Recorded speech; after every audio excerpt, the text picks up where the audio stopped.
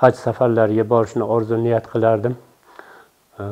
Bu e, nuroniylar va keksalar nimalarni qadrlab qadrlashgani uchun e, prezidentimiz shavkat miromonovichni tashabbuslari bilan shu mahallamda mani munosib ko'rishibdi.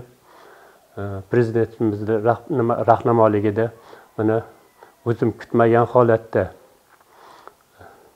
Xudo xudom taoloni nimasi bilan chaqirig'i bilan o'sha baytullohlarga madinaga makkalarga borib ziyorat qilib ziyoratga muvaffaq bo'ldim.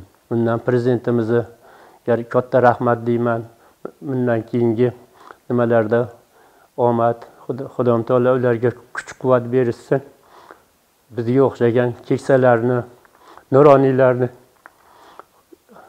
e'zozlaganicha alloh ularga xudom taolo kuch quvvat berishsin oilamiz bilan bola chaqamiz bilan ularni e, doimo hurmat qilamiz. Mahalla ko'yimiz mana hokimiyatimiz tarafidan e, shahrimiz hokimi ma'ruf azamovga ham ko'p minnatdorchilik bildiramiz.